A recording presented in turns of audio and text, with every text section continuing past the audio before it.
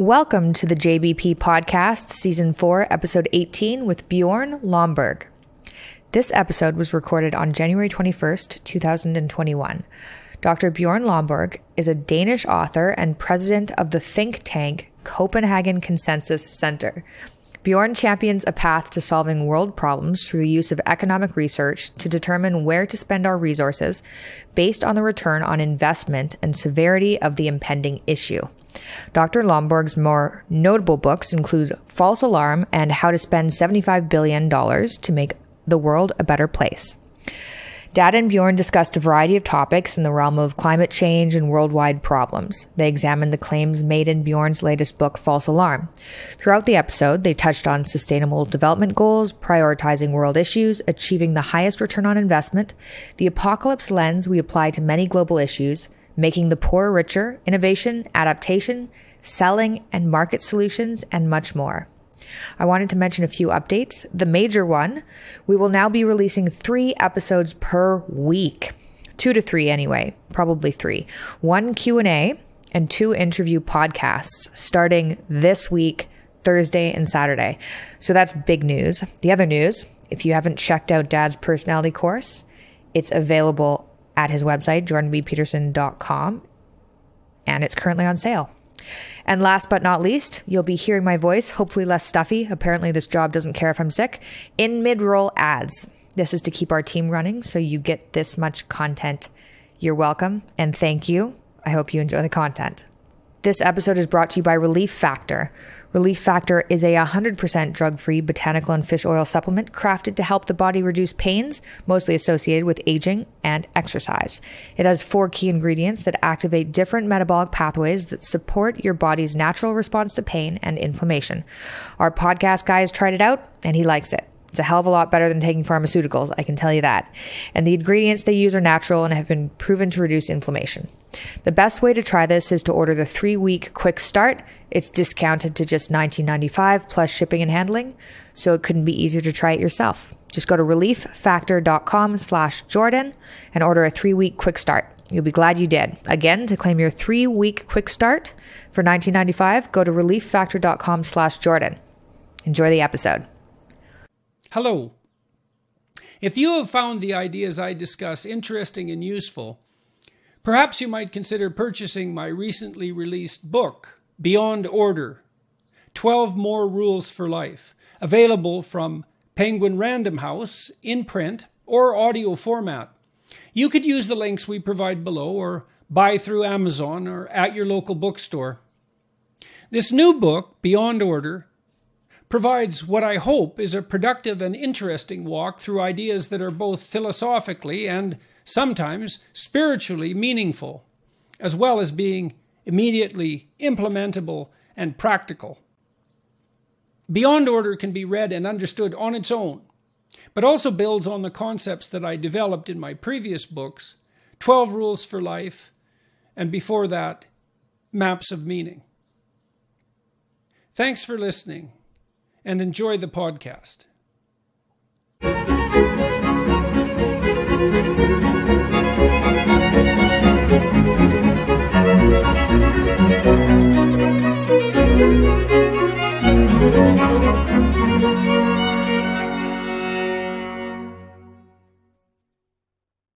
So today I have the privilege of having as a guest Dr. Bjorn Lomborg, who I've spoken with before on my podcast. And who was recently on my daughter's podcast, Mikhaila Peterson, as well. And uh, I came across Bjorn's work, it's got to be six or seven years ago now, when I was working for a UN panel, the Canadian panel devoted to analyzing economic problems in a hypothetically sustainable manner. It was for the secretarial secretary general's report on sustainable economic development, which was, I think, put out in 2016. Anyhow, while I was working on that project, I read a lot of books on the various environmental crises that apparently beset us, dozens of books. And of all the people I read,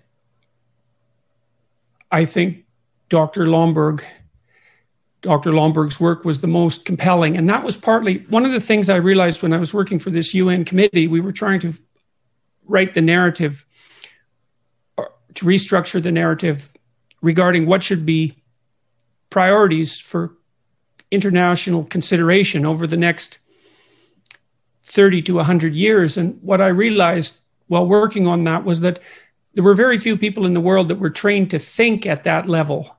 Um, people just don't have the expertise to do that. We don't have the methodology.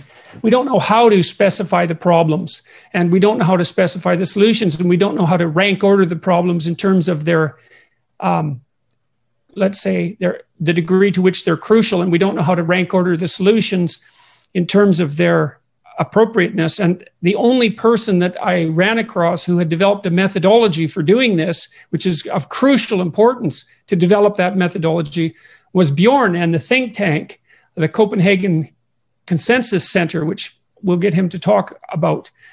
Um, and Bjorn, maybe you could elaborate. Let's see. There's lots of problems. We have lots of problems. Human beings have lots of problems. Some of them are familial. Some of them are uh, civic at the city level. Say some of them are at the state level. Some of them are at the national level, and a handful are at the international level. And there's a good rule of thumb, which is that we shouldn't solve family problems at the international level, right? You should work at the lowest possible level, but some problems are international, and at, at least you could make that case. And you've been wrestling with this since um, 19 the mid 1990s, and you wrote a whole bunch of books. The Structure of Solutions in the Iterated Prisoner's Dilemma, I think, was the first one.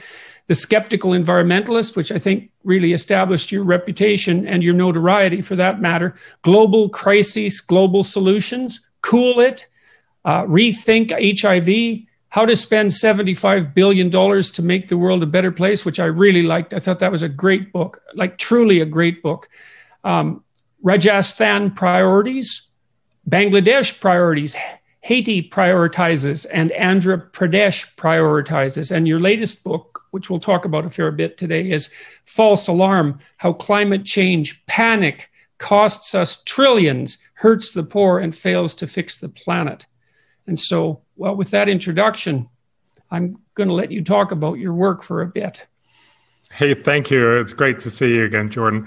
So, look, what I try to do, and really, I have a big organization, uh, uh, well, actually, a fairly small organization, but lots and lots of researchers that work hard on all these problems. Is simply as as you as you say, we don't have infinite resources. We can't do everything first. So it's incredibly important that we have this conversation about saying if you are to spend an extra dollar or a rupee or whatever your currency is where can you spend that and do the most good first? Because as you also point out, there are lots of problems. And and and while we tend to think about them in the international arena, of course, most problems actually hit people on a very personal level. It kills them. And and so you know one of the things I, I, I find slightly ironic uh, as we've just come out of 2020 and everybody has been very very concerned about COVID and rightly so. It's a big challenge. Uh, but at the same time, of course, every year, about the same number of people die as have di- died from COVID last year. Every year, the same number of people die from tuberculosis.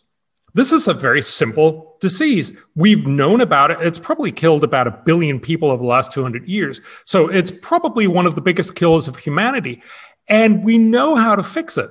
We fixed it in the rich world, which is why we don't worry about it anymore. But it's also very cheap to fix in the developing world. But because it never gets any attention, we don't talk very much about it. We don't do very much about it. And that's why 1.6 million people every year die from tuberculosis. And so my point simply is to say, let's have a discussion about saying if you were to spend an extra dollar, would you do the most good if you spend it on tuberculosis or on COVID or on climate or on infrastructure or on the many, many other solutions that are out there. And, and what we do is we simply work with lots of economists to take a look at what is the cost of a solution and how much good will that deliver? Not just in terms of economics, that is, how much better off will we be or how less worse off will we be? But also, how much better will we be off socially? That's typically people not dying, people not being sick, people not having to pay their doctors, not experiencing the loss of a loved one, and also environmentally, uh, that's not so much relevant for, for tuberculosis. But of course, when it comes to deforestation or uh, loss of wetlands and the uh, uh, uh, air pollution, indoor air pollution, and many of the other problems of the world also have an environmental component. We try to add up all of those. And so basically say, how much will this cost? How much good will it do when you incorporate all of these things and turn them into dollars? And then you can basically say, for every dollar you spend, you do this much good of social benefit. And then we simply ask if there are lots of solutions where you'll spend a dollar and maybe do a dollar and a half of good for the world, that's nice. But there are some solutions where you can spend a dollar and do hundreds of dollars of good. Shouldn't we focus on the hundreds of dollars first, the place where you make much, much more good for every resource you spend? That's really the thinking. It's not it's not rocket science, but we just don't think about well, it very often. It kind of is rocket science because one of the things you want to do when you send a rocket into space is make sure that it doesn't explode. And what that means is that you have to pay unbelievable attention to the details. I think it was an O-ring malfunction that brought down the Challenger. Yeah. So and so an O-ring was rocket science in that situation. And what really struck me when I started to think about international problems was precisely this lack of methodology. So I'm going to recapitulate the claims you just made so that the listeners are, and viewers are very clear about like you make a number of assumptions and all of those assumptions are questionable, but anyone who questions them bears the burden of coming up with a better set of assumptions and justifying them. And so, you know, you can imagine someone objecting to your rather casual um, acceptance of the idea that you can put a cost value on all of these problems. You know, uh, anybody who might object to, who might have some emotional objections even to something like the monetary system and to capitalism, for example, might be appalled at the idea that you could put a dollar value to human life, essentially. But in the absence of a better solution, well, that's exactly what I mean. You have to have a better solution. So, your first claim is that we have limited resources. Okay, so th- that seems reasonable. We have limited time, we have limited energy, we have limited resources that are at our disposal as individuals and as states. And so we can't devote an infinite amount of resources to every problem. So that seems pretty much pretty much clear. Um, if we're going to solve problems, we might as well start with the ones that are the most serious. So we got to figure out how to define that. Then we want to concentrate on the serious problems that we can fix and then we want to concentrate on the serious problems that we can fix most effectively so that we have some resources left over to solve other problems. Okay, so let's start with the problem set itself. So, for example, in your book, False Alarm, you talk about climate change and you, uh, uh, you, you're a supporter of the claim that there is going to be climate change of approximately the uh, degree, so to speak, that the International Climate Commission uh, projects, and you also uh, accept the claim that much of that is man-made. And but then you situate climate change as a problem as a problem in a host of other problems. So I'd like to know how you came up with the set of problems to begin with. Hey, it's me again. This episode is brought to you by Ladder. Life insurance gives me a lot of peace of mind knowing my family will be taken care of. Lord knows the Petersons seem to have bad luck with health, so life insurance, especially term coverage, is extra important on this side of the pond. Ladder makes it impressively fast and easy to get covered. You just need a few minutes and a phone or laptop to apply. Ladder's smart algorithms work in real time, so you'll find out instantly if you're approved, no hidden fees cancel anytime. And since life insurance costs more as you age, now is the time to cross it off your list. So check out Ladder today to see if you're instantly approved. Go to ladderlife.com slash JBP. That's L A D D E R life.com slash JBP. Ladderlife.com slash JBP. So I'd like to know how you came up with the set of problems to begin with.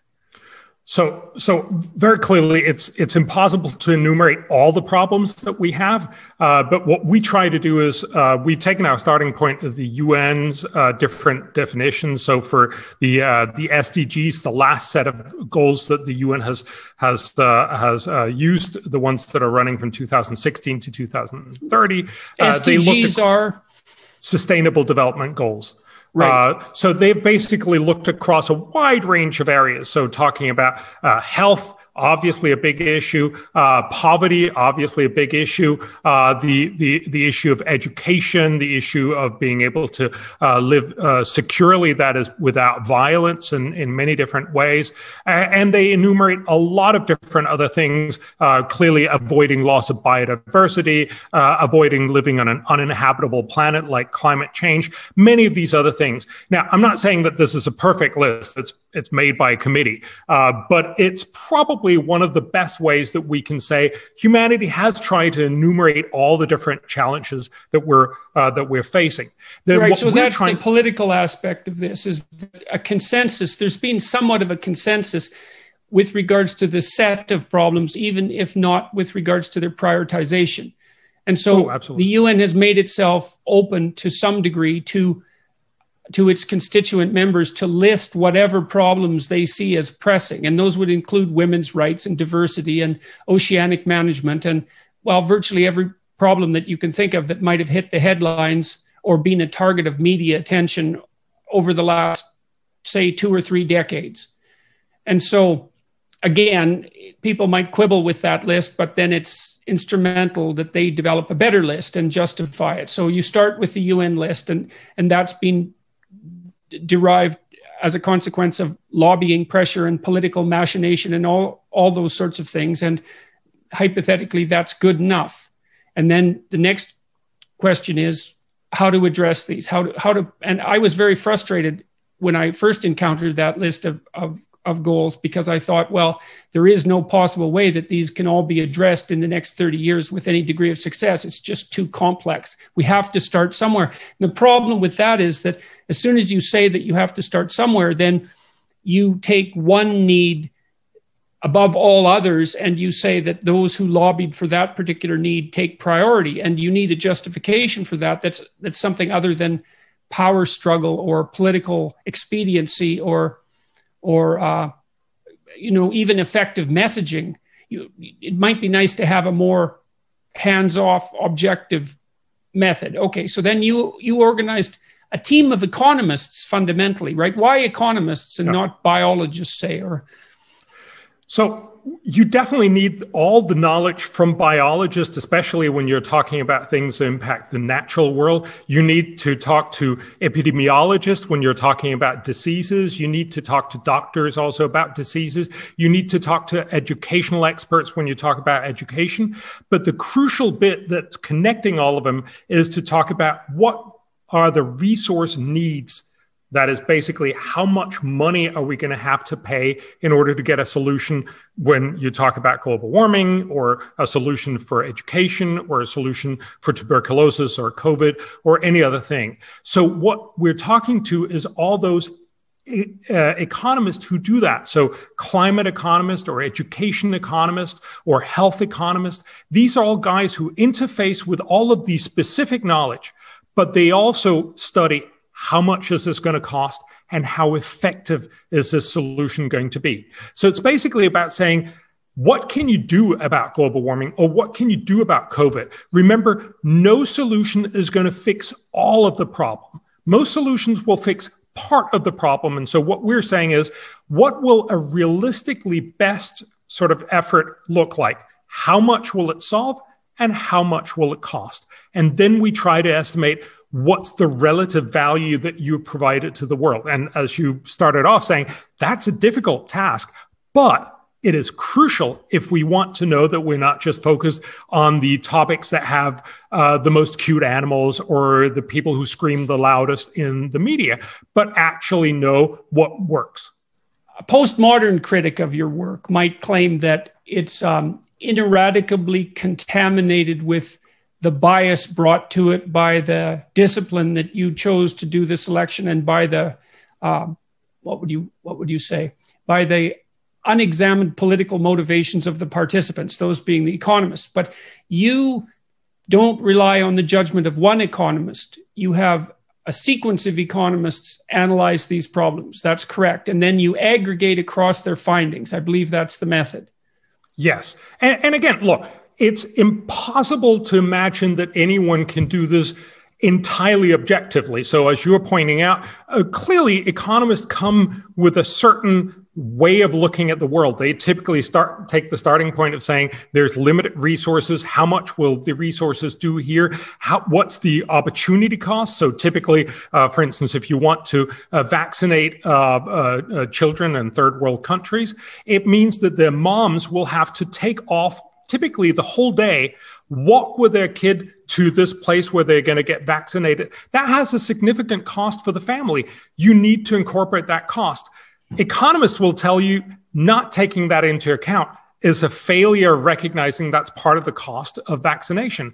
But of course, it is only one way of looking at it. I happen to think that it's a fairly convincing way. And as again, uh, as, as you point out, at least you have to come up with another way of looking at this if you want to uh, criticize and say we should do something. Yeah, well, else. that can't be reiterated but, too many times. Is that it isn't good enough to point out the hypothetical flaws of this approach. It's only good enough to put forward a viable alternative. And I haven't seen a viable alternative. No, right now, the way the world uh, organizes its priorities is very much about who gets to set the agenda, who have the cute examples, the things that we care the most about, the things that are easy to get into the media and so on. And surely that's not necessarily the best way to decide how we spend trillions of dollars uh, on, on, the, on, on global issues. So what we're simply trying to do is to give the world a sense of how much good can you actually do if you spend money really smartly on climate, or if you spend it really smartly on education, or if you spend it really smartly on all these other things. And then we have a good sense of it. Look, at the end of the day, it's still going to be a political battle. It's still going to be a discussion about what, you know, captivates people's attention. There's a reason why we haven't talked about tuberculosis for about 100 years. But of course, once a COVID hits rich people and hits home, we talk a lot more about uh, infectious diseases. I'm not saying it's wrong. We should definitely talk about how we deal with COVID, but I think we should perhaps talk more about also how do we deal with tuberculosis. Uh, not only because it doesn't uh, uh affect rich people, but because it affects a lot of people around the world. So, getting that conversation going, getting a sense of the proportion of the problem, getting a sense of what can we do, what's the cost, what is the total benefit in terms of making economies, making people, and making the planet or the environment better off. What are the benefits there? What are the costs? And getting that balance is crucial. Okay, now my sense is that you're, tell me if I'm wrong, but my sense is that you're often lumped in by people who have made climate change the center of their ideological universe. You're often lumped in with uh, climate change deniers of questionable motive. And th- this is the, f- the first question might be um, Do you think it's fair to do that? And if not, why not? And if it's not fair, why, why does it happen? So th- there's definitely a lot of people who just approach what I say and m- many others say, oh, it's just a deny. He doesn't accept the reality of global warming. And that's just simply false.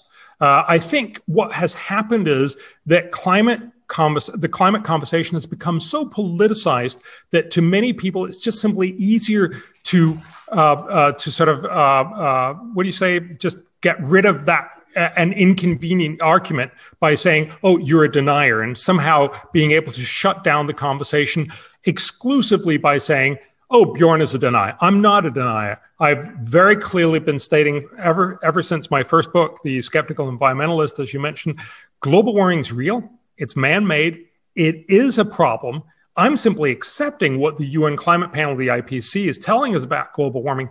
What I'm arguing is how much will a potential solution cost and how much good will that solution deliver to humanity so the real question here is are we spending lots of resources doing not very much good for climate when we could be spending those resources much better on climate? That is, doing much more to actually tackle the climate problem. And of course, also that we could spend those resources and do much, much more for the whole world with its many, many other problems.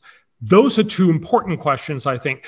And the reason why they matter so much is because, in many ways, uh, you know, uh, if you're just going to talk very, very rough numbers, the world spends about 150 billion dollars on all the big problems in the world. Uh, uh, you know, from uh, peacekeeping forces uh, to dealing with malaria and tuberculosis, to HIV, to education, to gender equality, to many, many other problems but we spend in the order of $400 billion or more per year on climate change. So if you look at the money that we spend on doing good in the world, the vast amount of that money goes to climate change. So if we get it wrong on climate, we're really getting it wrong on how we tackle the world's big problems.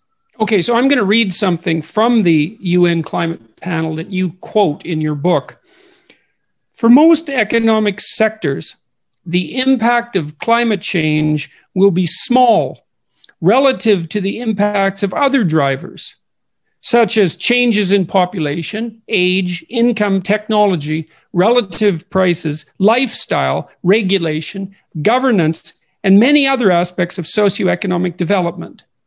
Okay, so that's the IPCC panel itself that penned those words. Now, you'd never guess that, I don't think, by um, you wouldn't infer that codicil if you only paid attention to the way that the climate change projections are covered by the media.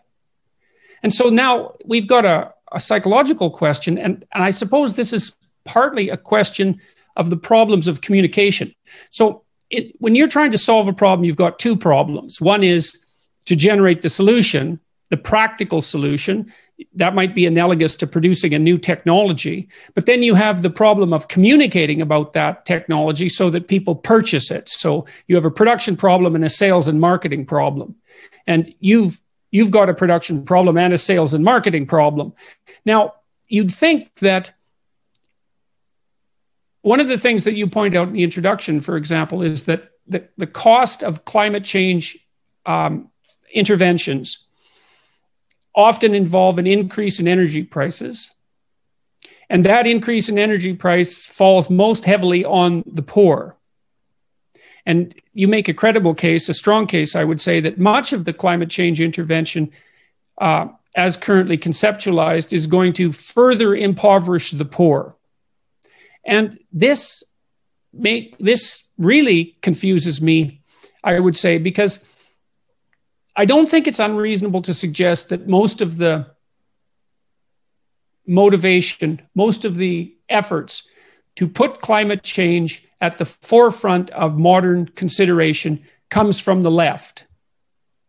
You think that's reasonable? Yeah, yeah. That's, okay, that's and then, certainly what's happening. Yeah. Okay, then you'd also think that the primary concern of the left would be the absolute or the relative poverty of the most impoverished or relatively impoverished people. So I can't understand why, since you've continually made the case that climate change policy as con- presently construed is differentially going to affect the poor, that that doesn't attenuate the left's insistence that climate change is the predominant problem. And now I have a hypothesis about that. And my hypothesis, I don't think it's particularly original and it could easily be wrong. But I think that there's an intrinsic anti capitalism that is uh, contaminating the discussion about climate change and perhaps even the science, and that the fundamental goal is to advance a criticism of free market capitalism by other means.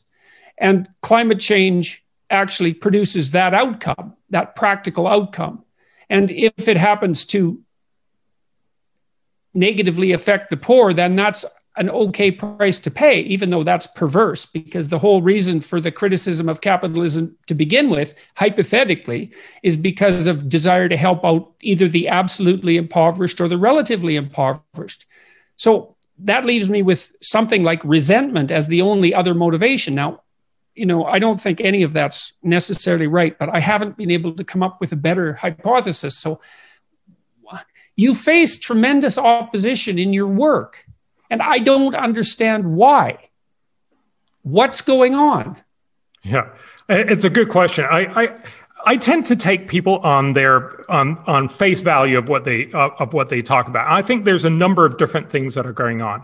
So a lot of people, I I think uh, I, I meet a lot of uh, really well-meaning, uh, uh, very very concerned people on on climate change. They basically believe uh, that the world is ending unless we do something about global warming. I mentioned in my book that a new survey uh, across the world shows almost half the world's population believe that it's now likely that global warming will lead to the extinction of the human race. That's a huge and absolutely unwarranted uh, argument. But you know, if you believe this is the end of the world, everything else moves off the the conversation. If global warming is the end of the world, if it's the sort of asteroid that hurtling towards Earth, we should just drop everything else and just you know send up Bruce Willis and uh, and you know do something about that asteroid. So the idea here is to recognize, uh, and I've heard sensible people say, look, there's going to be poor people in 2030. We'll we'll help them then. Right now, we need to help global warming. That makes sense if this is the end of the world that we're trying to get rid of. That's why one of the big points that I try to make in the book is to say that is not what the UN climate panel is telling us. Actually, as you just mentioned, climate change is a problem, but it's a fairly small one compared to most of the other things that we talk about. We never talk about our pension problems, but those are probably going to be much, much bigger than climate change. The other part, so just to just yep. to finish your your your your uh, your conversation about the poor, I think that when we were not nearly as scared about global warming, in some way you can you could argue that the reason why we've become so scared is because the media, the selling argument of climate change has just been way too successful. It's become the self-perpetuating machine that just takes any storm or anything that happens out there and say, see, global warming, and make us all believe that the end is nigh. Uh, but before that, I think there was a real challenge in, in the way, especially the left was very worried about global warming, but also worried about the world's poor. And I think it was simply an oversight that we focus so much on global warming and so little on uh, on on the world's poor. And I think if you were going to be very rude about it, you could possibly say it's also a little bit because we care about our own children so our own children, we worry, will grow up in a world where it's global warming and it's going to be terrible for them, compared to the world's poor, which are mostly not our kids; it's someone else's kids, uh, typically in Africa or in Latin America or in or in uh, Southeast Asia. Uh, so, in some sense, this is really I'm going to pick my kids over all the other uh, uh, uh, unfortunate kids. I think that was also a big driver, and I try to argue both of these and get people to realize maybe that's not the right priority for our planet. Okay, I do think that generally speaking, it's best to take people at face value because uh, to not do so means that you're not extending a hand of trust and it gets you into a terribly complex cognitive situation. But uh, but I would point out that you did question their motives at the end of that answer, you know, saying that perhaps people are more concerned with their own children and willing to sacrifice the world's poor, so to speak, um, in their priori- prioritization as a consequence of that. Um, I looked at at poten- the potential dark motivation of of a kind of lurking anti-capitalism. Another possibility, perhaps, is that a lot of the problems that you list are do fall into that into the same conceptual category as the world's poor. The hypothetical person that you described said, "Well, there'll still be poor people in 2030 and we can worry about them." And so you might say that you can't make poverty into an apocalyptic catastrophe plausibly. And you can't even make tuberculosis into a cataclysmic uh, problem or apocalyptic problem um, plausibly. We we know how that's going to go. It's going to stay pretty much the same way that it is, you know, barring mutation and and. But with climate change, there's a there's a non-zero possibility of cataclysmic collapse um, the the green the the Greenland ice pack melts and slides into the ocean, or the uh, the uh, Gulf Stream reverses, or something like that, and and and we get a situation where positive feedback loops spiral out of control, and everything comes to a everything culminates in catastrophe. It might be that we don't know how to deal with a problem that has a non-zero probability of being infinite. Hmm. And and and that is a good com- uh, that that is a good theoretical conversation. My take on that is is really twofold. It's it's partly I think it's just simply a question of imagination. Everything, when you run it out to 2100, has a non zero probability of going really, really wrong. Uh, so, one very good uh, uh, uh, uh argument would be to say uh, take HIV/AIDS, which laid bare much of sub Saharan Africa. If you imagine we did nothing about HIV/AIDS, you could very easily imagine one or more states in Africa collapsing over the 21st century throw in some bioterrorism and some geoengineering, uh, sorry, some geo, uh, no, uh, some uh, bioengineering. And you know you can get a catastrophe. You know that it drives up some terrorists who are going to basically eradicate humanity. You can come up with almost any kind of scenario that will end the world. And clearly, we also have many, many other scenarios that we're not particularly worried about. You know, one would be North Korea. Uh, that seems a non-plausible outcome that they could uh, uh, end up uh, ending the world if we don't do something about uh, North Korea. I'm not sure what that something would be, but the point here is to say that it's very clear we're saying, yeah, we're going to be a little worried about North Korea, but not very much.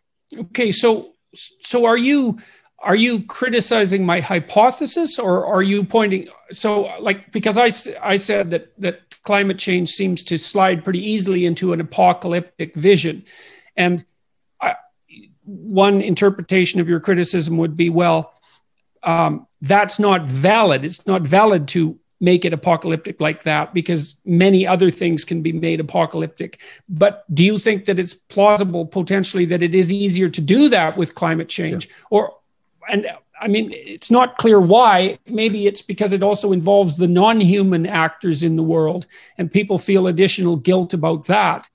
Um, so, do we have a do we have a rule of thumb that's something like, well, when we're discussing practical moves forward, we don't get to um, extrapolate from the present apocalyptically and say that this problem is so severe that requires an infinite amount of resources or it, it, yes. it morally obligates us to devote an infinite number of resources to its solution.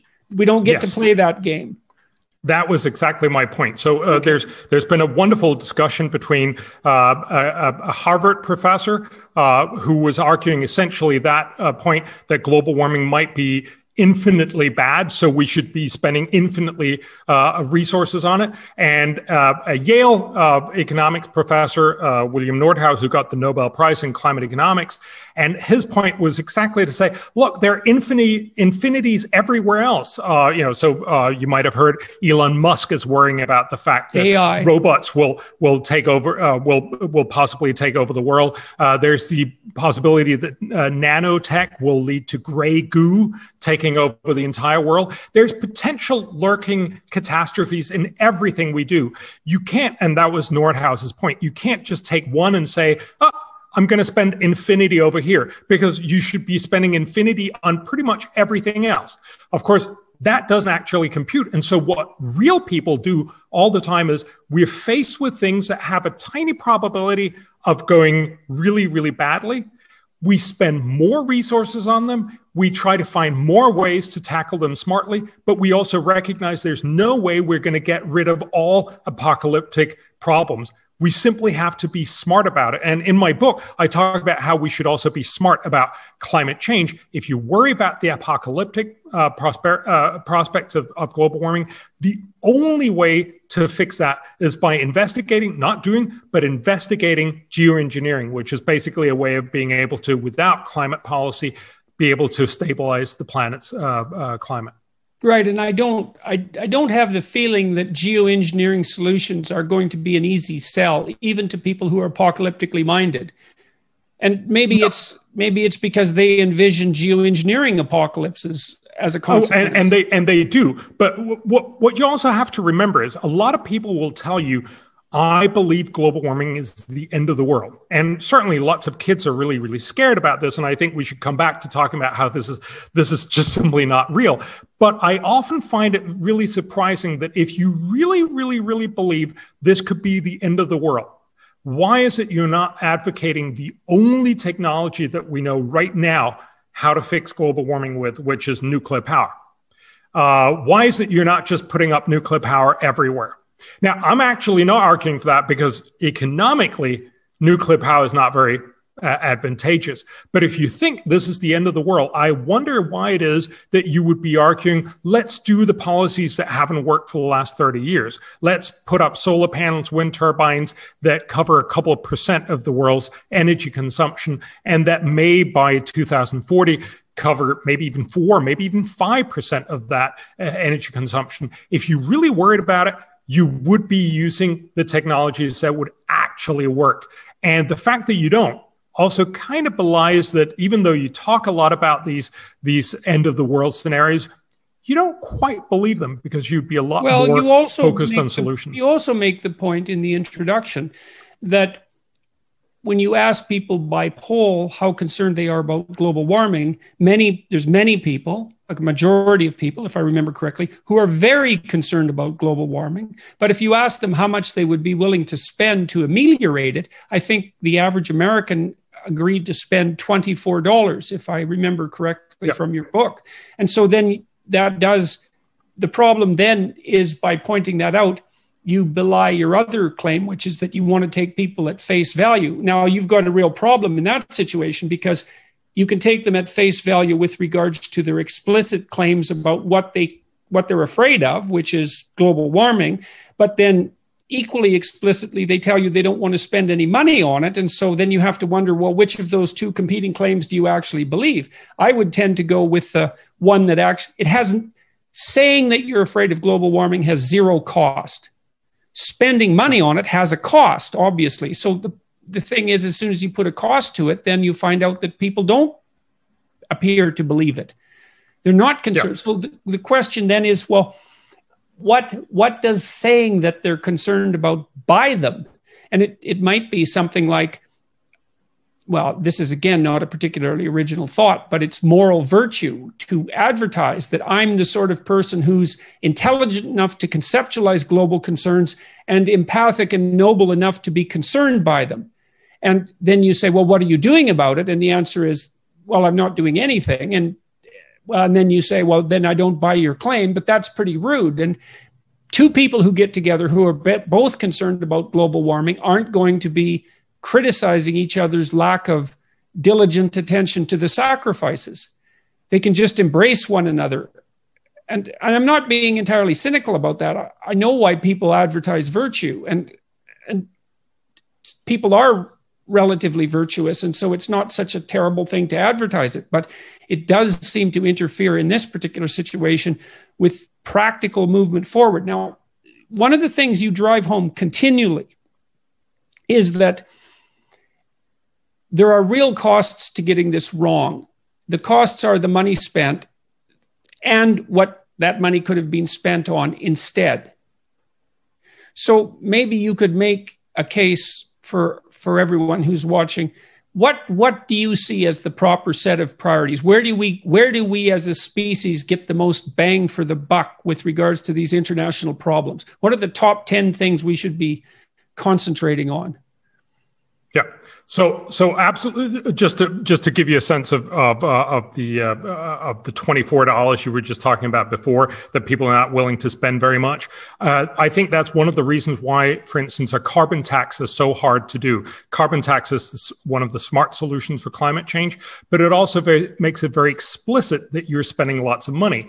So instead, what most people support is that we should be subsidizing green energy, that we should be subsidizing uh, electric cars, that we should be doing a lot of other things that make you feel virtuous. It doesn't feel like it costs all that much, but it actually ends up costing huge amounts of resources. So, so while people saying they're not willing to spend very much, their sentiment actually allows politics to end up spending huge amounts of money. So this really matters. So sorry, you asked me what are the things we should be spending our resources yeah, and so that so, also means what are we sacrificing if we concentrate yes. too much on um, the moral virtue of driving a Tesla, for example, which is a clear status symbol, very expensive, and not obviously related to ameliorating climate change.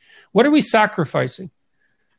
So, as long as we are driving this Tesla because the government, and that's typically almost everywhere in the world, because the government has spent five or ten thousand dollars on subsidizing us in order to make us afford to drive this Tesla. That's ten thousand dollars that couldn't go to other things either in our own states, our own nations, where we obviously could have spent it uh, according to what the uh, the uh, political uh, decision making process would decide, you know, on better education and better care for our elderly, on better COVID uh, uh, uh, care uh, right now. There are lots of other things that are demanding attention.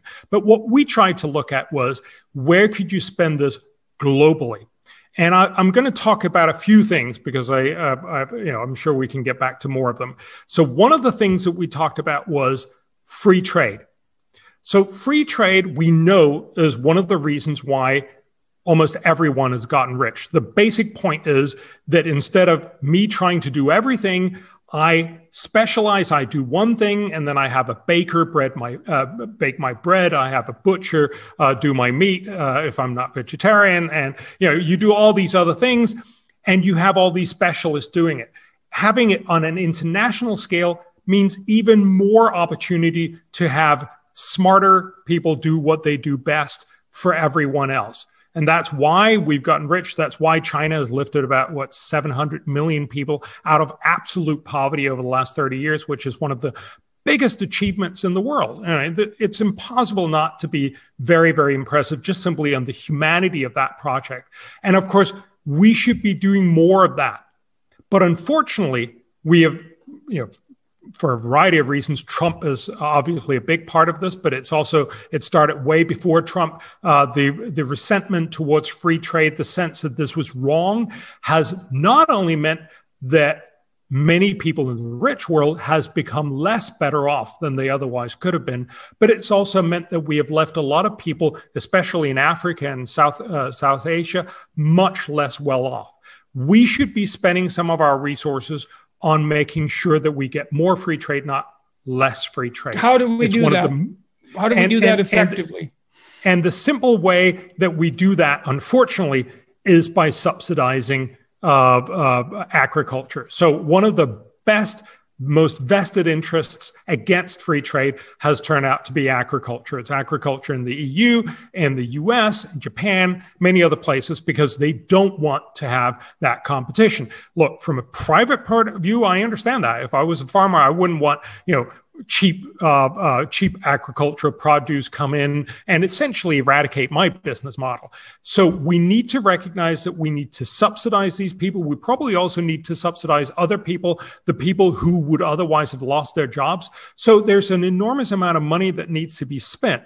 Okay, so I got confused there, Bjorn. I got confused.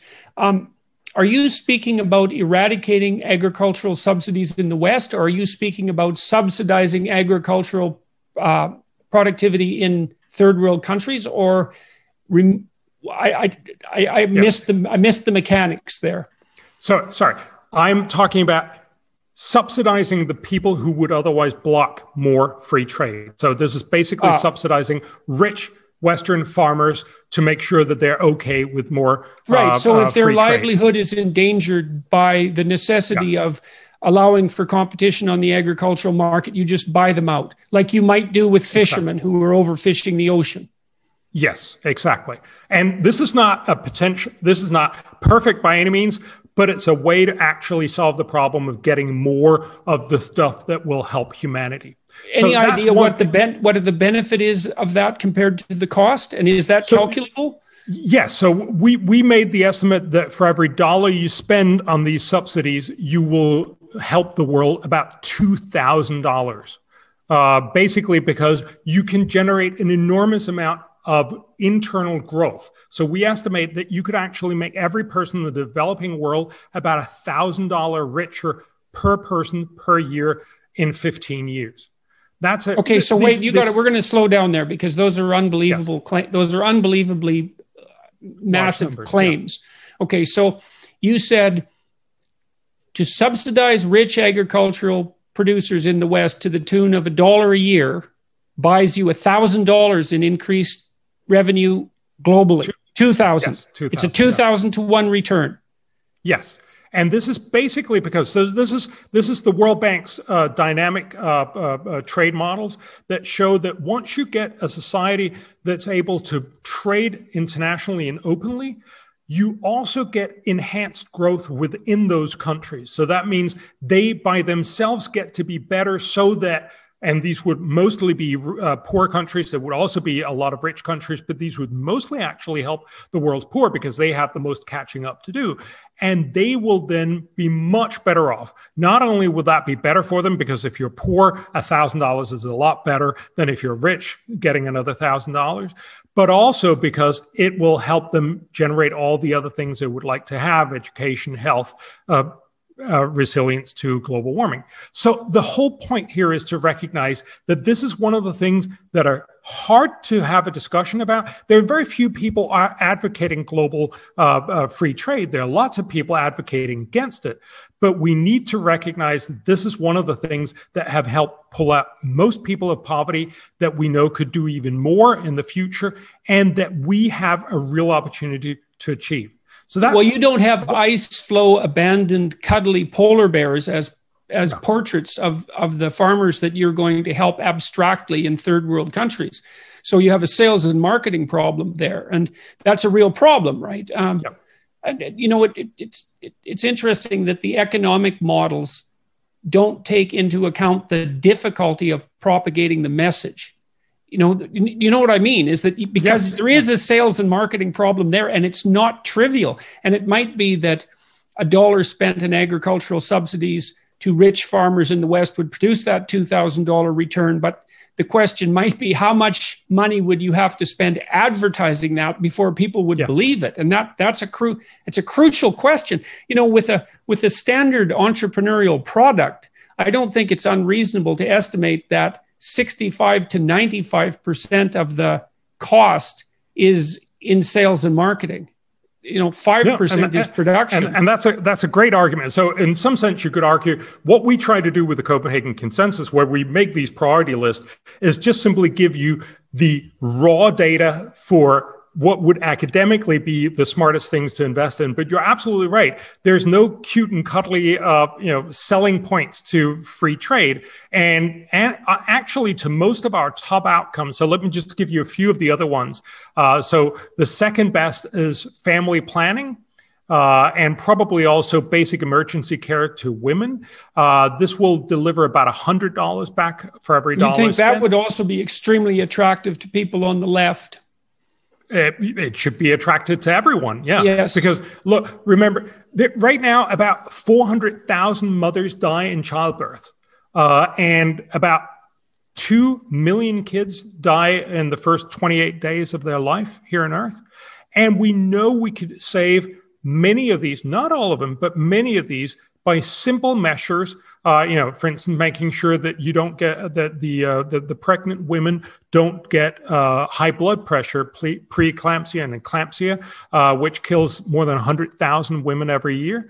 Uh, by by simple emergency measures, when you come into a facility, give birth, and you have a, a problem, if you have simple procedures to make sure that that problem can be dealt with, often with fairly cheap uh, uh, you don't need more doctors. You just need nurses or even assistant helpers. You can do a lot of these things. We know that you can do this for very low cost. And then again, if you have, uh, there's about 215 million people, uh, women who don't have access to prevention. Uh, uh, so family planning, if you could get them family planning, not all of them would use family planning all of the time, but it would mean that they would space their kids better. They would be able to give more investment into each one of their kids.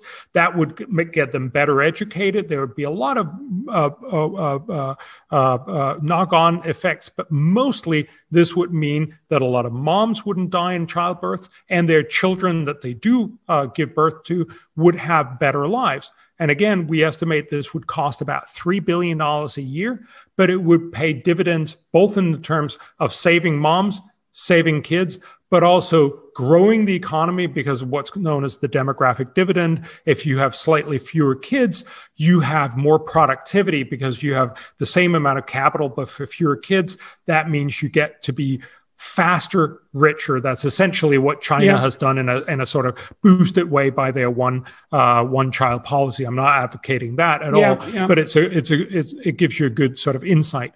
Then there are lots of health things. We talked about tuberculosis we could probably spend a dollar on tuberculosis and help people not die, help people being better off, help families not dealing with tragedies of losing their mom and dad. It's typically, uh, you know, people in their middle ages that die from tuberculosis. Every dollar spent would avoid about $43 of social benefits. Uh, sorry, would generate $43 of, of, of social benefits. Mm-hmm. If you look at uh, childhood immunization. Uh, we've we've stopped a lot of the really damaging uh, uh, uh childhood diseases. So we've gone from a world where about 12 million children died just in 1980 to now only about 5 million children die every year below the age of five. But clearly, that's still way too many. We could probably save a million children for a billion dollars a year. Just think about that. We estimate that for, for every dollar spent there, you do about $60 worth of good. So, again, the whole point here is to recognize there are lots of, lots of amazing things that you can do. And you know, I, I, I, was letting my internal cynic uh, respond to your arguments and trying to adopt the position of someone who might be critical of them. I know that uh, um, arguments for ameliorating the lot of the poor that were put forth in the 60s were often countermanded by the claims often of environmentalists that you don't want to help the poor because they'll breed more and that will just re- lead to more of the kind of problems that you're trying to solve. And so you know the question might be why would someone object to saving a million children a year through immunization? Or i think you said 2 million children as a consequence of enhanced maternal care and I can imagine similar arguments like that being raised, you know, whether consciously or or implicitly. Um, but those things should be made implicit. So so let I would encourage people who are watching this or listening to this. You know, a lot of you have chopped up my um, YouTube videos into small videos and sometimes animated sections of them and otherwise distributed them. Bjorn just outlined four the four, the top four investment strategies for a better planet. And it, it might be useful to consider ways that that can be that that information can be distributed as widely as possible. I mean, Bjorn's writing his books, but those sell at how many books, if you don't mind me asking, how many copies of False Alarm did you sell? I think it's in the it's 10, 15,000 thereabouts. Right. Uh, so, so, that's yeah. that's a good that's a good selling book from an academic book perspective, but it's a drop in the bucket. In, yeah. Right. I mean, and, and I'm, that's not a criticism, obviously. What about total for your books? So it's uh, you know uh, two three hundred thousand or right, right. And so well, a good YouTube video will get a million views, and if this was chopped up properly, maybe it would get five or you know five to ten million views. So that would be good. But we we don't want to have you thought about allying yourself with an advertising firm so we we've talked to some of those. Uh, there, has been people uh, uh, coming asking, how can we help? Can we uh, help do some of this? Uh, and and what I find is that when when it ends up, uh, part partly these advertising firms sort of retract their offers when they start realizing this is really complicated. That they that it's not just you know the the cute polar bear and the ice floe kind of argument. Um, and, and I get that. And part of it, of course, is also that unlike when you talk to someone who's just saying, we should do more about this a good thing. We should you know save more moms or we should do more about climate change. We're the guys who actually say you should do this before this. And that yes. always antagonizes people. I think it's the only intellectually honest argument uh, because we have limited resources. So we're simply saying do this first do this first don't do this first don't do this first I think that's important, but that always creates a lot more antagonism. And I think that's one of the reasons why this is a much harder argument uh, to make. And obviously, my whole book on climate is very you much move about from the you don't you don't have the problem of having to say no if you stay in the hypothetical.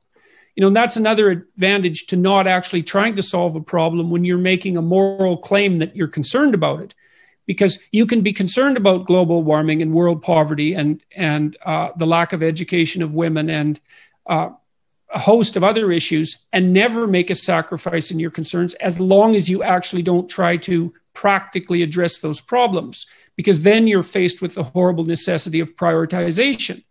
And maybe that is part of what makes you unpopular to the to the degree that people are uh, not so much resisting your message but critical of, of your approach you force you force the recognition that that no has to be said in order to make progress forward. And that that interferes with a utop with an imaginary utopian vision. But it it and it, and so that makes that makes romanticizing the venture much more difficult. It doesn't seem impossible though. I mean you could imagine um, um, a a, a heart rending and emotionally compelling video addressing the utility of restoring to health someone who was suffering from tuberculosis or preventing it in the first place. I mean, these things don't seem completely impossible. You haven't found any marketing or advertising agency that's willing to partner with you in in in the sale of any of these ideas. Oh, oh, we we found lots of people who who love to jump on board, and you know, look, there, look, there are lots of videos out there that uh, that tells you how incredibly important it is to do something about tuberculosis, and how important it is to do something about maternal health, and and about immunization, and about malaria, and all these other things. It, I, I think it's much more a question of saying what is it that you overwhelmingly see when you see open you know your tv or you look at youtube and, and, i think there's just a level difference in the amount of knowledge that you have about tuberculosis compared to the amount of knowledge that you have about covid certainly now uh, yeah. and about climate change and these other things it's just simply a question of saying one of them or the, the two last ones resonate much much clearer to most people and to a lot of uh, uh, interest organizations. Whereas the other one is sort of, that, yeah, of course, I also think we should do some tuberculosis. Now back to what we were talking about before. Yeah. So the climate, the other the issue with regards to the climate is that the weather affects everyone all the time.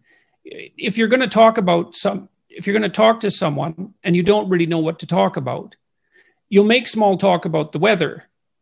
And so it's an immediate day to day concern in a way that even infectious disease isn't or wasn't before COVID. And so maybe that's another reason that the, the climate issue has been has occupied the the the space for apocalyptic attention if there is a, a, too hot summer or an extraordinarily hot summer, you have an explanation for it. And it's something that affects you while it's happening, or a too cold winter day, or too much wind, or too much rain, or you know any of the extreme weather events that can manifest themselves. So there's an immediacy to weather that seems to be associated perhaps with the with the emotional resonance of climate change that's also perhaps working against these rational arguments. Well, there's certainly something. Uh, so we have research that shows that when it's hot, people believe more in global warming than when it's cold. So there definitely is these kinds of very, very simple uh, uh, uh, uh, connections. On the other hand, if you think about it, when you talk about global warming, it's going to be, let's say, four degrees uh, centigrade hotter in 100 years that's actually really hard to imagine that most people would get very worked up about. And that's, of course, also what you saw for the first 20 years or so of global warming. What has happened is that shift from the focus on the uh, the basic outcomes of global warming to these catastrophic outcomes. So that every time you see a storm, every time you see a heat wave, every time you see any kind of change in weather, people will often say, see, global warming.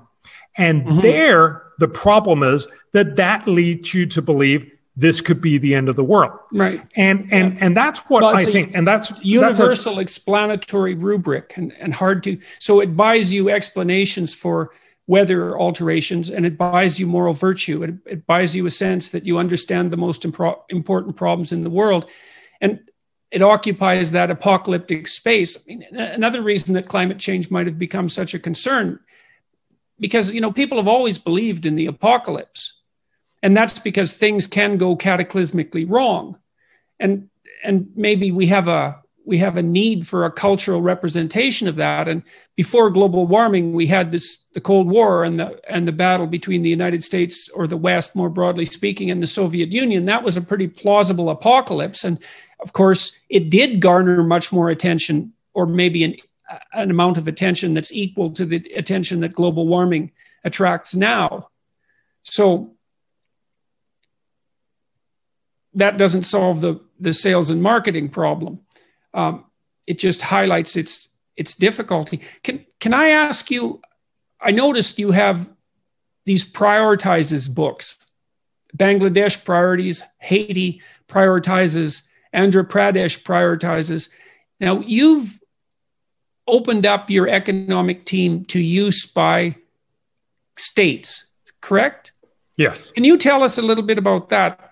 that's another that's something else that's extremely practical and i'd like to know how you do it and what the effect is does it work yes yes so so uh, uh, one of the things we found uh, so we did a prioritization of the sustainable development goals for the un that we talked about in the beginning uh, and and what's what's sort of very noticeable is if you talk about what should the world do everybody thinks that's intellectually interesting but nobody feels like they live in the world. You know they mm-hmm. well we're canada we're the us or denmark or whatever. And, and, so you feel like i want something that's actually relevant for my political conversation and so one of the things we wanted to do, we, we also did this in Latin America uh, with the Inter-American Development Bank, and we found, you know, these are some of the best things to do in Latin America. And then, you know, obviously Argentina would say, yeah, that's probably true in Mexico, but not here. We're special. And, and likewise, Brazil would say, yeah, that's true in Argentina, but not here. So, you know, the const- you could constantly get this sense of it's true somewhere else, but not here. And that's why we wanted to have this conversation specifically for nations. So we've done this for Bangladesh. We've done this for two states in India, Andhra Pradesh and Rajasthan. We've done it in Haiti. Uh, we've just completed this in Ghana in Africa, and we're right now working with Malawi. That so, must be ridiculously exciting and interesting. I mean, it's such a combination of rich intellectual possibility because these problems are so compelling and and the the potential excitement of actually operating in the real world Yes, it is very exciting. It's also uh, at times very frustrating, as you, I'm sure you could imagine. Uh, so, so uh, what happens is everybody thinks that this is a great idea in principle, but of course, everyone worries also: what if my favorite things turn out to be not a very good investment? That's suddenly going to, you know, make it much harder for me to get money for next from ne- next year's budget. So there's this right. there's this uh, sense of do we want to, this to be too successful? On the other hand, the finance ministry often loves this approach because they're the ones who get inundated from all ministries and saying, we need more money for this project. We need more money for that project. And of course, politicians also need uh, projects that sell, essentially buys them votes. And so clearly they're also very ambivalent about this. On the one hand, they want to do as much good as they can for their country. On the other hand, often the best political promises are the ones that are not very effective. They're the ones that you can sell because they sound good but don't actually work very well. Uh, or so that you can instance, put off Indi- endlessly and still promise that you're going to deliver. Or, or just deliver and do it really badly. So in India, for instance, uh, one of the things that have turned out to be incredibly good vote winner, winners is to give uh, uh, forgiveness for loans for small fa- smallhold farmers you can imagine how that you know if if i'm a, a, farmer i put myself in almost uh, impossible debt, there's a politician who promises he's going to forgive that. That sounds great. But of course, the problem with that argument is that partly they often don't pay. Uh, but what happens is it actually ends up shifting loaning from the very poorest to the not so poor farmers, typically to the rather rich farmers, because the lenders don't want to see the politicians ending up saying, "No, we're not going to uh, uh, uh, keep your your loans on uh, on the books." So you end up spending huge amounts of money, encouraging bad loans, and then not helping uh, the the poor when they need it further on. That's a lose lose lose outcome. And one of the things we tried to point out was don't do that. I'm sure we weren't very successful because it's an incredibly successful political strategy, but it becomes a little harder to do. And likewise, some of the things that we found were incredibly effective becomes a little easier to do. So, for instance, for uh, for Bangladesh, uh, we found, and again, this is not this is not dramatic news, but it's just a really, really good uh, approach to uh, uh, to basically put your uh, procurement online. Uh, so, for many states in the developing countries, uh, procurement makes up about one third to two thirds of their budgets. so, everything from pencils to roads, but obviously, roads are much, much more expensive. So, it's typically infrastructure projects.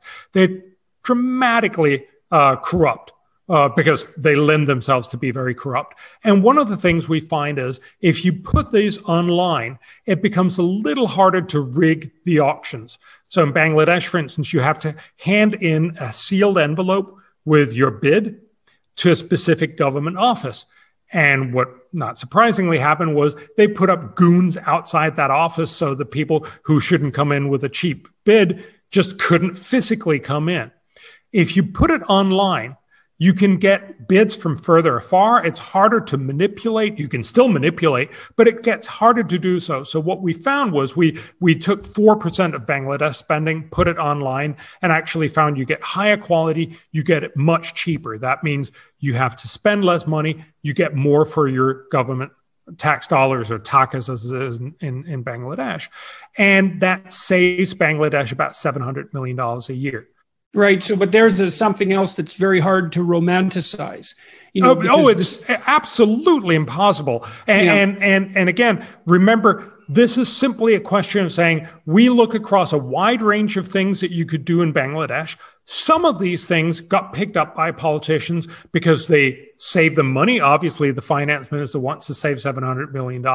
Some of these things have really, really good long term growth potentials, like, for instance, uh, getting digitized, your, uh, getting your land digitized. Some of these are very obvious things like uh, uh tuberculosis, but many of them also don't happen just simply because they're not the right set of things to do right now. So again, our point is not that we somehow magically make Bangladesh right. That would also be impossible to imagine. And and look, you shouldn't have you know economists prioritizing the world. You should have economists informing the electorate in Bangladesh how do you want to run your country.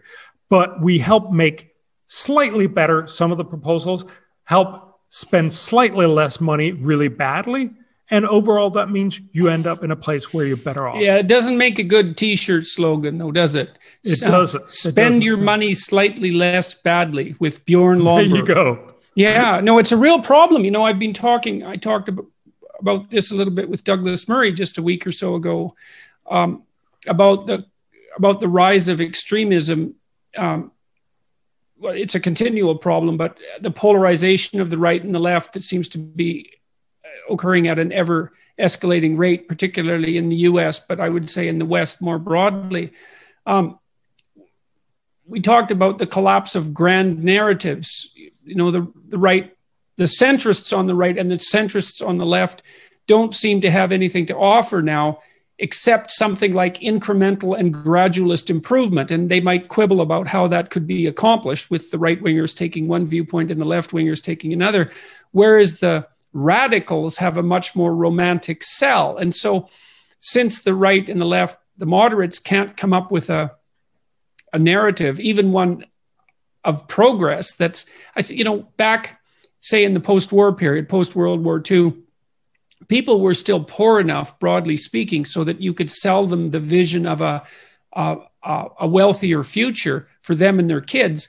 And there was enough gap between where they were and that hypothetical future for it to be motivating. But now, you know, you might be able to tell your your your uh, electorate that well, we could make things twenty percent better over the next ten years, and that's true and it's good, but it's not punchy, and that's a big problem. And I've been struggling. I also talked to Mac um, to Matt Ridley, you know, and he's he's a guy I think who thinks like you.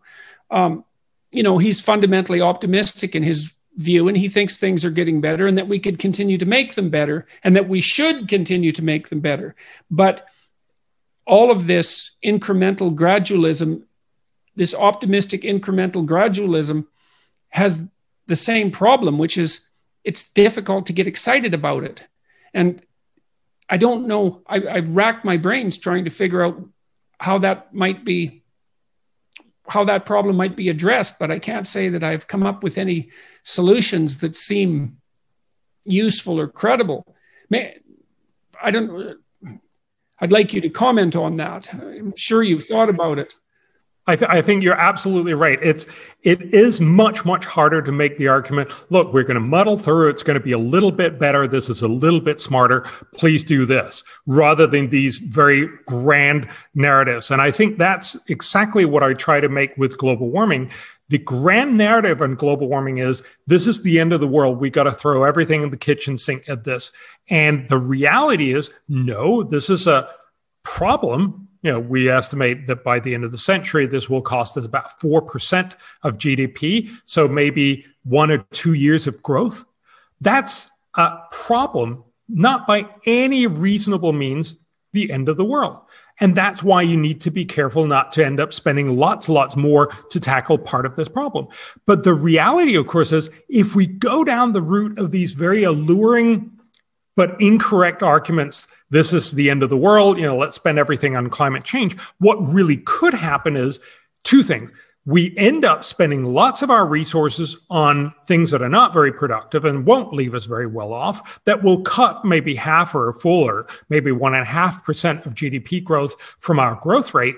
That could be potentially dramatically damaging in 10 20 30 years once we're a lot less richer a lot less better off. Because remember, one of the things that keeps societies peaceful is that we all have a future to look forward to that's going to be much better. Once we start realizing we're entering into a stable state where if you are better off, it's because I'm less well off, we will get much, much more antagonism. So I think it's realistic to say if we follow down those alluring roads, we might actually end up leaving our future of our grandkids much less better off, not just in the economic sense, but also just simply in a wildly sort of rioting kind of way that everybody will be at, at each other's throat. That's one part of it. But the other part is to remember we're right now talking about how the West or the rich part of the world thinks about this problem. Most people in the rich world actually think the, the future is going to be a lot worse off, which is one of the reasons why global warming fits into that whole pattern. I think it's wrong. That's also what the model said. That it's even what the UN climate panel says, but that's how people feel. The other three quarters of the world, which are China, India, Latin America, Africa, they actually believe that their world is going to be much better in 10, 20, 30 years. They have this future belief that you were just talking about uh, from, uh, from out of the Second World War. They are not going to say, yeah, we're going to uh, do strong climate uh, policy and become poor. They want to mostly become middle income countries and maybe even rich countries eventually. They will want to do this. So, what will happen is both that we're leaving ourselves in the rich world to become much more infighting and much less well off than we otherwise would be. And that we're actually seeing the other three quarters of the world just simply running, uh, uh, you know, possibly even ahead of us, but certainly uh, running ahead without looking at the same kind of problems that we are. Okay, so do you think do you think you could make this case? So, what you basically outlined there is a hypothesis that ill spent money will have dramatic consequences. I think I can make that argument, but I also feel a little uncomfortable. I'm I'm just the guy who wants to tell you you can spend a little smarter here, you can spend a little more dumb here. I think there's something uh, there's something I think that's a, a little sort of ugly in in saying, all right, everybody else is making up their own uh, you know, uh, uh, uh doomsday scenarios, so let me make up uh, another one here because I think fundamentally fair doomsday enough. scenarios is what got us into these fair, kinds look, of problems. Fair enough, but you you you were trying to address the problem of of compounding returns, right? So yeah. bad economic decisions or poor economic decisions compound with time, and so is it reasonable to point out when we're talking about risk? I talked with Matt Ridley about this, and I've thought about it a fair bit as well. And I think the data support the proposition that making poor people richer is an extremely intelligent environmental move for a variety of reasons. I mean, the first is perhaps that once you get people above a certain level of income, they can start buying fuels that are cleaner than the fuels they learn they use now, um, dung and wood and that kind of thing. Um, but also that as people move up the economic hierarchy, they have time to be concerned about things that are more abstract, like what the environment is going to be like for their children, when, which they're not going to be, or or when they go on holiday, for example, you know, or even where they live, as as they have some options to choose where to live, and so it it could be, you know. we often construe the relationship between the economy and the environment as a zero sum game, right? And the biologists, in particular, broadly speaking, have the political biologists have a proclivity to do that that as the economy grows, we sacrifice the environment to it. But it could be the case that we get the best environmental bang for the buck by making the poor rich as fast as we possibly can around the world. And, and if we make poor economic decisions because we're catastrophizing a certain kind of environmental calamity, we're inviting, we're actually increasing the risk of, of environmental degradation in, in the medium and the long term. Do you think that's reasonable? Yes, absolutely. So, in a number of different ways. So, I, I, think it's funny how we don't recognize how terrible it is to be poor. If you're poor, you're vulnerable in all kinds of ways. You're very clearly incredibly vulnerable to global warming. So, you know, uh, uh, if you remember, there was a big hurricane hitting Haiyan, uh, uh, uh the Philippines, and back in 2013, it was made a big deal out of uh, as, as, global warming. It hit this very, very poor city, who, you know, where most of their city citizens live under corrugated roof. Not surprisingly, having a Hurricane Five is terrible when you live under a corrugated roof. The best way to help these people, obviously, would be to lift them out of poverty. What actually is, we can see back in uh, in the early part of last century, a similar hurricane hit and eradicated about half the city. Uh, this time, it was only about a 20th of the city. So much, much better because the city was much richer. But if we focused on making them even richer, they would be much better off just simply from the point of, uh, of view of being more protected from hurricanes. So, you know, fundamentally, there's something weird about us saying, oh, those poor people in the Philippines, we should help them by not driving our car today. What? No, you should help them by becoming rich, becoming part of the integrated global economy, making sure that their kids would be uh, better, uh, better educated, not die from easily curable infectious diseases, and so on. So, not only would it be better environmentally, but it would obviously also be better for them educationally, for them health wise, and all these other things, it would simply generate much, much better lives in the, uh, in the Philippines. But, as you also pointed out, as you get richer, you're actually cleaner in almost all ways. You don't use dung and cardboard and, and wood to cook inside, but also you stop cutting down forest. You move to the city instead. You become a web designer or something else that's very, very little related to actually clearing out uh, uh, uh, forest land. You do a lot of things in cities that are much more ecologically sustainable. And of course, in the long run, you will actually also say, I would like to make sure that we have better regulations, so we have less air pollution, so we have many of the other things that drive environmental benefits. So, absolutely, by getting people out of poverty, we fix most environmental problems. But, and okay. this is the important but, yeah. we don't fix global warming. As you get richer, you just simply emit more and more CO2 because these guys will then start flying around the world. They'll start, you know, uh, consuming a lot more meat. They'll be doing a lot of other things because they're richer. That's wonderful for them, but it will mean higher emissions of CO2. So we do need to have a conversation about how we're going to fix that problem. Okay, so why don't you lead us down that path? Okay, well, let me let me comment a bit on what you just said, and then let's go down that pathway. Okay, so to swallow what you just said and to believe it, you you there's a set of beliefs that you have to have already in place. You have to believe that the current economic system isn't fatally flawed and basically works, or at least works better than any hypothetical alternatives that have been tried or that we can dream up. So it basically works. And works means as it runs, it tends to lift people out of absolute poverty.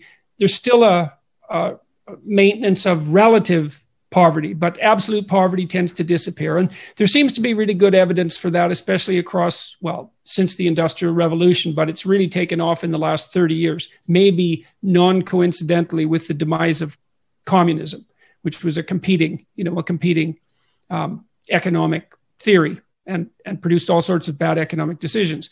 In any case, you have to buy the hypothesis that the current system works and that extending it is going to be better. And so you don't get to um, adopt revolutionary, a stance of revolutionary criticism of the Western capitalist hierarchy. So that's a big sacrifice if, if you if your if your thinking is oriented in that direction.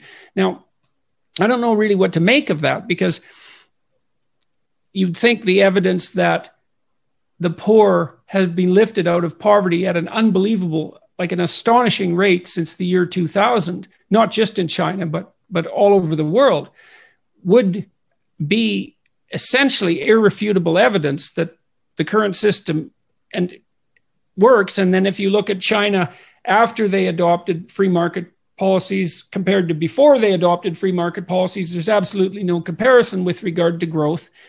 And so it isn't obvious to me how, if you were truly concerned with the poor, you would be able to um, deny the sorts of propositions that you put forward. I don't understand that. Maybe it's partly because people just don't know how much better things have got in the last 20 years and why, you know, because it, it, it, has been difficult news to bring forward and, and it's difficult to market. Um, if I can just uh, yes, yes. Uh, so one of the things I think people don't recognize, if you look at it at a graph over the last 200 years, 200 years ago, almost everyone in the world were absolutely poor in the mm-hmm. sense of less than less a dollar, than a, dollar a day. Yeah, mm-hmm. 95% of humanity was below that level. And we've just seen a dramatic decline. As you mentioned, we're now down below 10%. Even despite of COVID, which a lot of people have pointed out have actually uh, uh, made more poor people. Uh, we've gone from seven up to about nine percent, and so we've delayed the uh, the the benefit for a couple of years. That's terrible, and I would rather not have had that happen. But it doesn't change the long term trajectory. That's mm-hmm. amazingly downwards in the sense that we have many, many fewer people that are poor. Uh, one, one of my favorite guys for uh, who runs the Our World in Data website. Yeah uh, he points out that every year for the last 25 years, the headline of every newspaper around the world could have been over the last 24 hours, 138,000 people have lifted, been lifted out of poverty. 138,000 people every day for the last 25 years. Mm-hmm. But of course, it's not news because it happened every day. It was not, you know, some, oh, this day it happened we don't get these good news. And I think we need to get them in order to be able to understand the magnitude of what we're talking about. Well, you know, the problem with accepting that good news, or a problem with it, is that it pretty much eradicates the romantic rebel.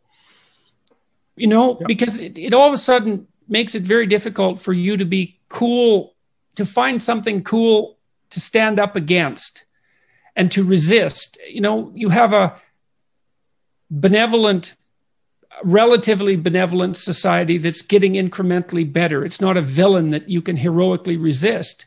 And that's that is I'm and I'm not being cynical about that. That is actually a problem because resisting um, um, arbitrary authority is a good story and and it served people well for a very long time. And if you don't have that to catalyze your identity, you have to search for something perhaps equally grand.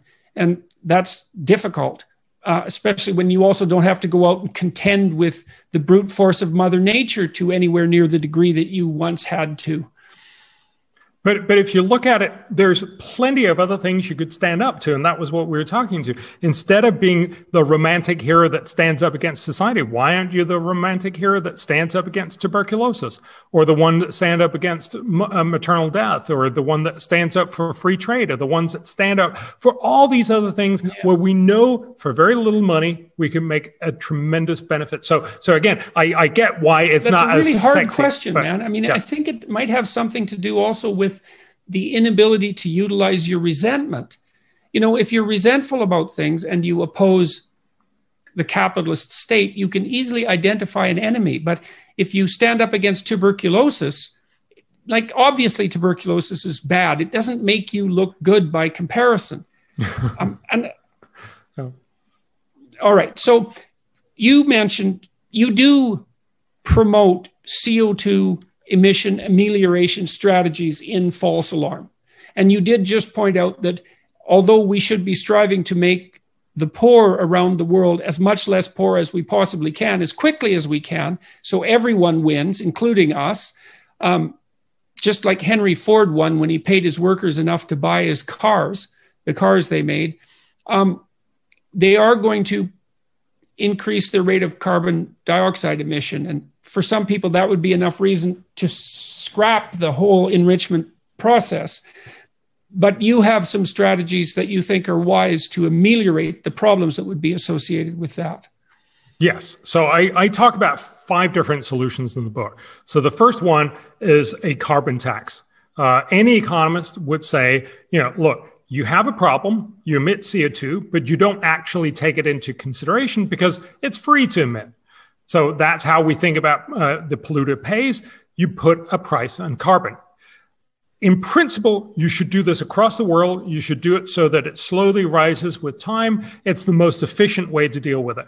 There's two things we need to recognize with it. One is it turns out to be very, very hard because it makes it very explicit to people that tackling global warming is actually costly. Secondly, mm-hmm. we know that politicians are just really, really bad at doing something for a long time, very consistently across all areas. What politicians typically end up doing is they'll put it on some things. So, you know, in many places in Europe, for instance, you have enormously high taxes on cars, and you have enormously low uh, taxes on people who are good at uh, uh, lobbying their governments for their particular interests. So, you know, greenhouse gardeners, uh, uh, greenhouse uh, growers don't have to pay the the carbon tax because that would make it really hard for them to grow their, you know, tomatoes or whatever. And, and, and you can see how this happens across a wide range of areas. So that's one p- part of the problem. The other part is that even if you do this really, really well, it'll only solve a smaller part of the problem. So you should do this. We should focus on, on a carbon tax, but we should also be realistic. This is not what's going to fix climate change. This will fix a smaller part of climate change. So it's part of the solution, but it's not the most important part. The second part, and that's where I think we actually have the biggest opportunity, is innovation. Uh, so if you talk to uh, Matt Ridley, this is certainly also his uh, his ballpark. But it's basically recognizing that most things that we have solved in this world are about innovation. So you rarely get people to to solve a problem by saying, "I'm sorry, could you please not do all that cool stuff that you like? Could you please stop feeling good about all of that?"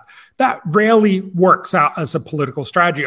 Unfortunately, that's typically what we say. Could you please not fly, not eat meat, uh, mm. not do all these things? Could you please have it a little hotter in the summer and a little cooler in the winter? That's really, really hard to sell to most people. What you need is innovation. And, and, let me just give you an example. Uh, back in the 1950s, Los Angeles was one of the most polluted places on the planet. because there are lots and lots of cars and they have this special sort of geographical notion that just leaves all of the pollution inside this little basin of Los Angeles. It was terrible uh, to live there in many ways. Uh, and, and, obviously, the simple answer is to tell tell people. Most of this came from cars, so the simple answer would be to say, "Stop driving your car." Of course, if you've ever met someone from Los Angeles, mm. you hmm. know that that's not a solution that's actually viable to them. Well, but there aren't even not- any sidewalks. No, it's not you know really viable for anyone uh, in in any city. What did solve the problem was the innovation of the catalytic converter. This little thing that cost money, you put on the exhaust pipe, and then basically you have much much cleaner cars. That made it possible for people to keep their cars, drive a lot, and have much, much cleaner air in Los Angeles. Now, I'm not saying everything is perfect in Los Angeles and there's still air pollution problems, but it made it a lot better for very little money. That's the way that we need to solve global warming if we could innovate the price of green energy down below fossil fuels, and this green energy could be nuclear, it could be fusion energy, it could be solar or wind with batteries, it could be lots of other uh, possible solutions. If we could innovate one or a few of these solutions down below fossil fuels, everyone would switch. You wouldn't need sort of a, a you know Paris Accord where you have to twist everybody's arm.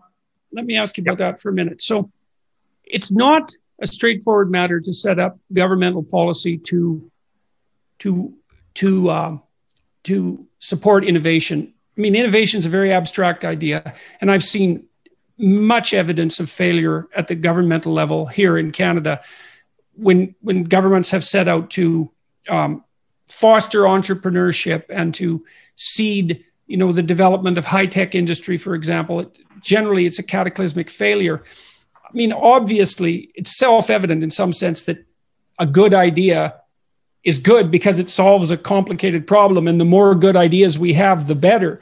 But do you think that it's like it seems on the face of it, unless you dig down into the details, it seems like hand waving. Obviously, we should have better ideas to solve our problems. But you, what do you think constitute concrete, realistic, evidence based solutions to the problem of fostering innovation? Do you think it's actually possible to set up policy that does that? Yes. So the short answer is yes, and and and the reason is that what what what's lacking is mostly long term investment. So investment that will only generate the solutions in 20, 30, 40 years. Remember, uh, this is why we invest a lot of money in healthcare uh, uh, basic research that then eventually becomes research that, you know, for instance, pharmaceuticals can make into products that they can make money off of. There's always a, a, a too little investment societally in things that you can't monetize right away. Mm-hmm. So it's I very hard to great, invest in things that you can't monetize right away. Yes, if I make an innovation that then in 20 years, say, will help us generate this enormously beneficial breakthrough. Unfortunately, I won't get any money because my patent has run out. That's mm-hmm. why most companies will not be investing in these long term uh, uh, uh, development. What happens is that you then have a dearth of investment into uh, these terms, these sorts of long term uh, uh, innovations, unless you have the public invest in them. And I'll get back to how we okay. do that smartly. Okay. But we do that in medical research for many reasons, you know, people recognize this is part of the place where we need to, you know, produce lots of professors, lots of medical Nobel laureates, and then, you know, eventually the pharmaceuticals will take over and actually make products out of this. That's a great setup. We don't do this in energy for a variety of reasons. Mm-hmm. It is one of the places where we spend very, very little money partly because it doesn't feel like you're solving global warming because you're not solving it right now. You're only solving it in you know 20 or 40 years. That feels like you didn't really care.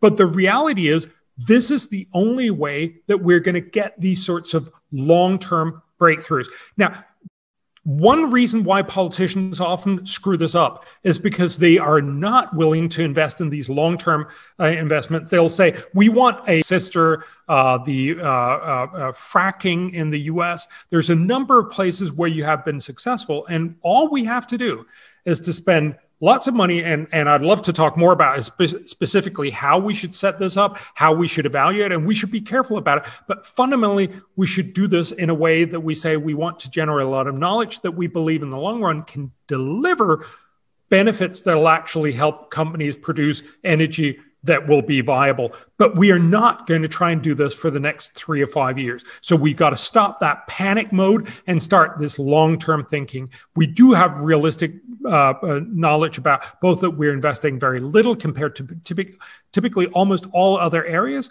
and that more investment here would make it more plausible that we would faster get cheaper green energy. So, okay, so in Canada, there's a medical research council and a social sciences research council and natural sciences and engineering research council. That might be a bit dated, that information, but essentially that's how it's been set up.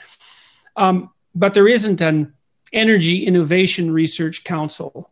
And, you know, I'm thinking that way because I'm an academic and I've seen these granting agencies.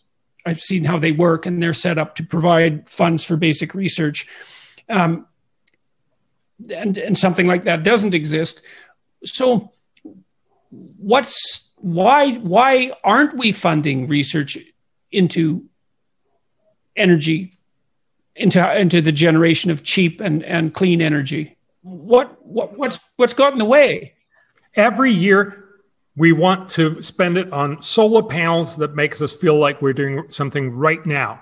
The, the, the surprising thing is in 2015, when all countries signed the Paris uh, uh, Climate Agreement.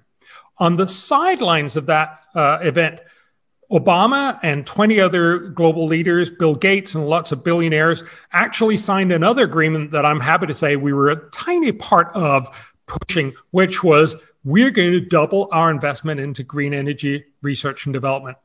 So all countries both promised the thing that you heard about, namely, we're going to cut our carbon emissions, but they also promised to uh, uh, double their uh, uh, green energy investment in five years, so in 2020. They did quite a bit of the cutting carbon emissions. They did nothing of the increased spending in green hmm. energy R&D. And I think hmm. fundamentally because it doesn't feel like a solution. It doesn't feel like something urgent. It feels like something you can do next year. It feels like something that's nice to have, but this, you know, putting up the solar panel is urgent and we need to do it. The reality is the over worry about global warming that we have because we're, you know, we have this existential feel that this could be the end of the world. Surprisingly, also, not only is wrong, but it also leads us down the wrong path, namely the path where we say, let's do anything that just makes it look like we're doing something next year rather than actually laying the groundwork for fixing this problem. Now, obviously, and some people will say, well, we should have done this 20 years ago. And yes, it, that would be wonderful. We should have done that, but we didn't. You know, it's sort of too late to do something about what we should have done 20 years ago. But we can do something about what we're going to spend our money on in 2021. And if you look, for instance, on Biden's proposal to fix climate change, he's yeah. he, he's he's thinking about spending two trillion dollars. He'll Jesus. probably not get to spend all that money on a vast array of things, many of which are not going to be very effective. But he's also saying he wants to dramatically increase, actually, I think probably too much, but certainly a very, very large amount of increase in American spending on R&D. This is what he should be focusing on, but I do worry that he's going to end up having much more success with all his other much less effective proposals simply because they are more glamorous. All right, so um, you don't seem to be an admirer of the Paris Accords. And so, my, my, sense of your argument is that the proposals that are part of that accord are extremely expensive and they're not cost effective, especially when viewed in this larger framework uh, that encompasses a whole host of problems instead of focusing just on climate change. And so, maybe if if you don't mind, you could summarize your could you lay out your critique of the Paris Accords for, for us? Yes. So, so two things.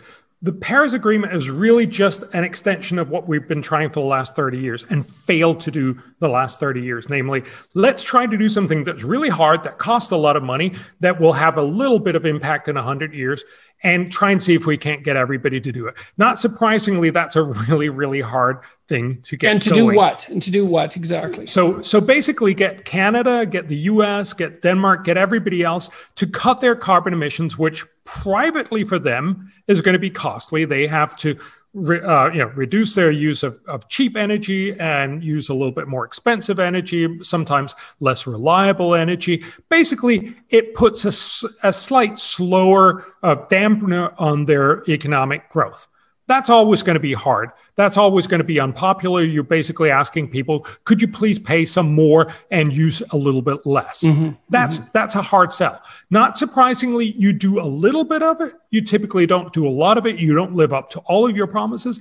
But even if you do, so let's just take the Paris Agreement. Even if everyone did everything they promised to 2030, that would cut as much CO2 that if you run it through a climate model, it would cut temperatures by 0.025 degrees centigrade by the end of the century.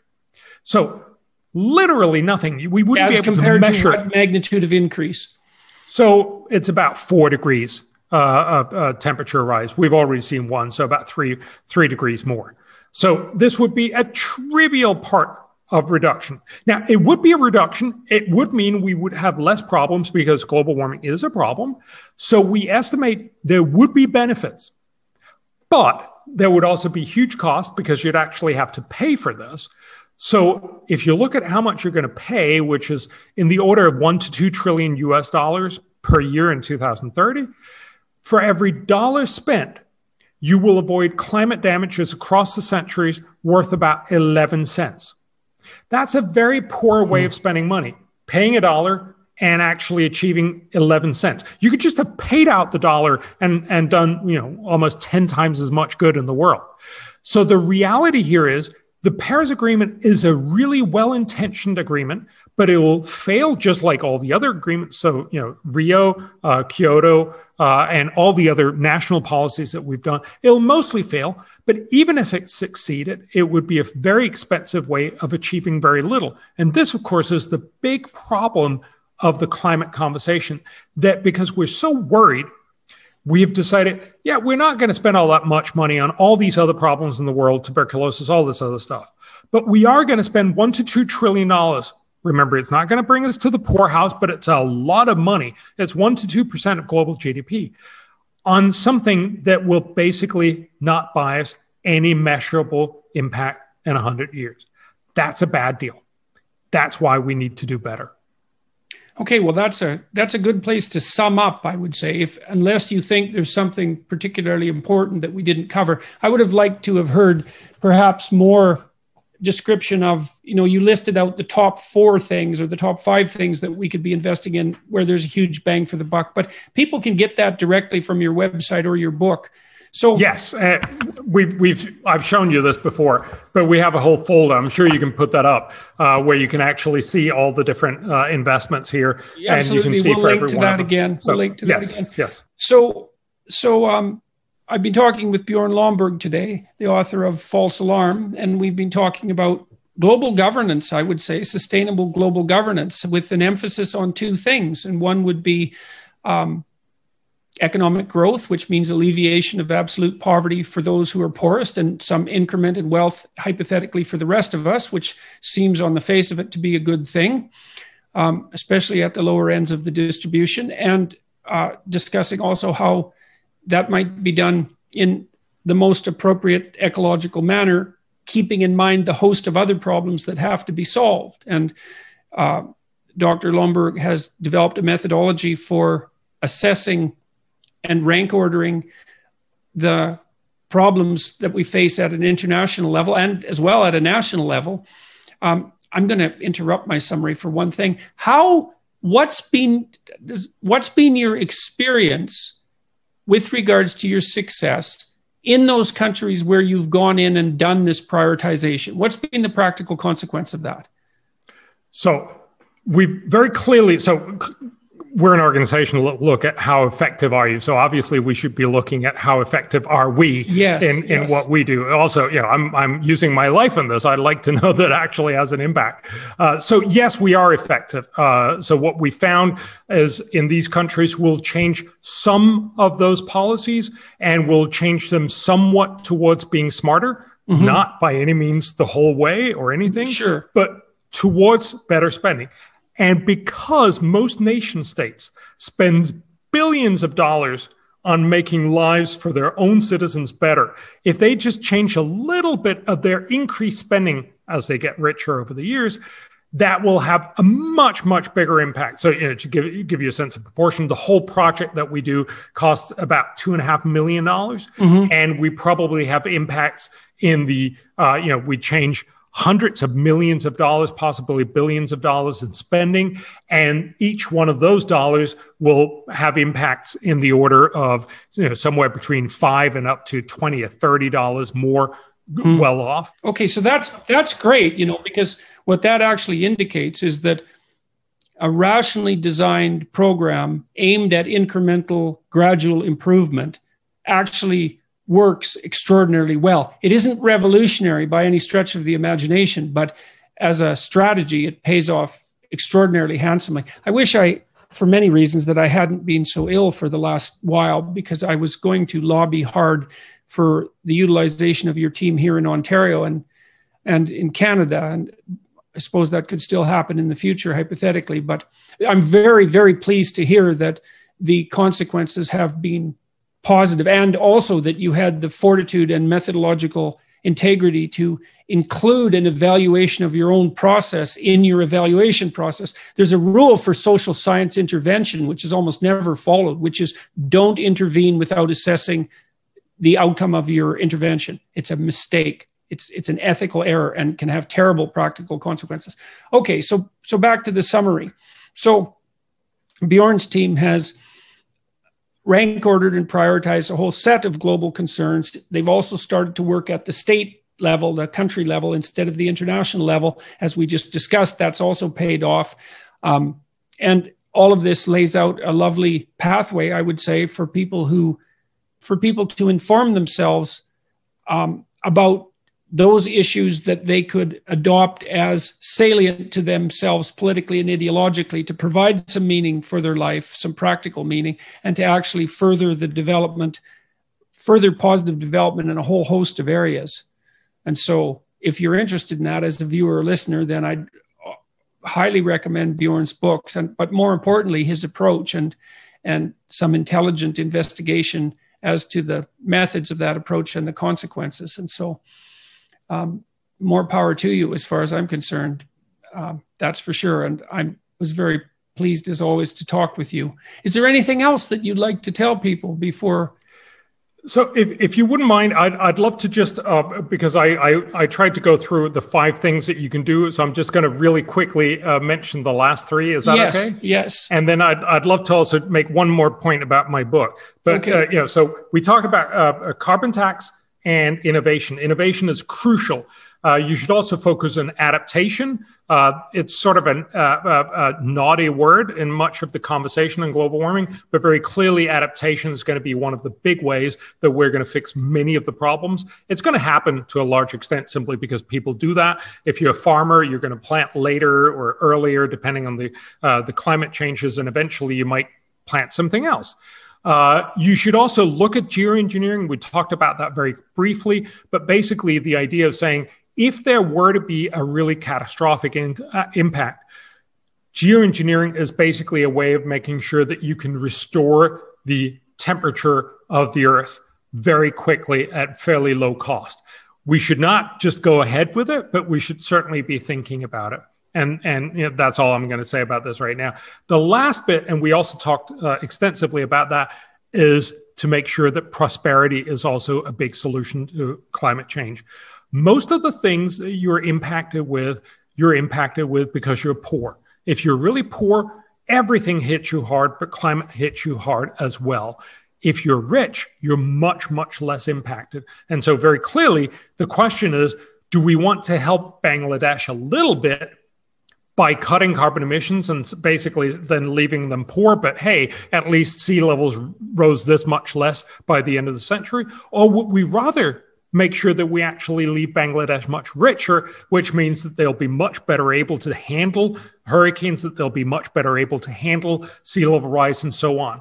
There's a very strong basis of evidence that shows that prosperity is actually much better for most countries not just because it's wonderful in all kinds of other ways. You can avoid your kids dying and make get them better education and all these other things but also for climate. So those were the five points and innovation is by far the most important thing. I just want to say one last thing about you know because my book is very much uh, we've talked a lot about all the big problems in the world. The reason why i talk about global warming is because it is the one thing that i that i experience most people actually talking about all the time as this existential threat. This is the big thing that we should all be concerned about. Certainly, a lot of people, the UN uh, uh, Secretary General, many others are telling us this is the top priority for humanity because if this is going to eradicate all of us, surely this should be the thing that we focus on. I think that that makes intellectual sense if it was true, but that's not what the UN climate panel is telling us. It's not what the science is telling us. It tells us this is a problem, by no means the end of the world. And that is not only important because you can't really get to all the other things we were talking about unless you stop believing this is the end of the world. If this is the end of the world, you are going to set everything else aside. But also, of course, it's the only way that you can actually get a better life uh, you know, when you see all these kids uh, being really worried about, am I going to have a future when I grow up? Uh, people believing literally that humanity is going to end. That must be terrible. Now, if it was true, we should be telling people, but it's not true. And therefore, being able to relieve yourself from that scare is also really, really valuable on a personal level. So this book was written not just to make sure that you can get rid of the scare, but also that you can start realizing this is a problem among many others. Now let's think about how do we prioritize, and and that's what I'm I'm hoping this conversation will help us. So in a sense, you could say the false alarm book is a stepping stone to be able to have that you know more general conversation, namely what is it that the world should be prioritizing if we're not scared witless about global warming, mm-hmm. but actually sees it, see it as it is a problem among many problems. Mm-hmm. Great. Well, that's a really good place to end. So, um, thanks very much. And I hope we get a million people to watch this and another 500,000 to listen to it. We'll see how it goes. So, thanks very much for talking to me today, Bjorn. It was a pleasure uh, listening to you. I always learn a lot reading your books Likewise. and listening to you, and and uh, it's been a it's been well, it's very nice to come across sources of realistic hope. You know, and that's what your books provide. They provide sources of realistic hope. Man, those are in short supply. So, um, even though there's lots of reasons to be hopeful, and perhaps uh, the supply shouldn't be so short, but it's nice to be able to maintain critical intelligence and not to have to descend into a well of pessimism as a consequence. Yes. It's wonderful to talk to you, and it's always you give me a lot of different uh, uh, perspectives on what we're doing, which is just as valuable. You know, you're sort of you're stuck in your own little uh, uh, way of thinking about this, and it's wonderful to sort of be able to say, "Oh yeah, yeah, there are all these other perspectives and all these ways that you also need to to have that conversation." That's great. So it's always wonderful to talk to you. Thank you. Thank you.